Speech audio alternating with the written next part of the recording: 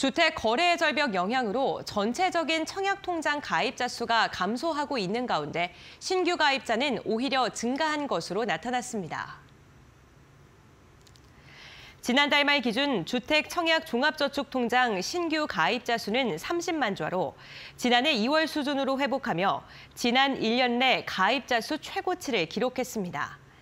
지난해 12월 23만 좌로 전월 대비 6만 좌가 감소했던 가입자 수가 올해 들어 26만 좌로 증가하더니 2월부터 가파른 증가세를 나타내고 있습니다.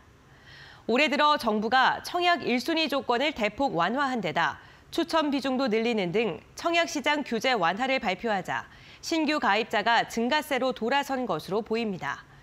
여기에 분양가가 저점을 형성했다는 인식이 확산하면서 1인 가구, 신혼부부 등 젊은 실수요자 중심으로 가입자 수가 증가했습니다.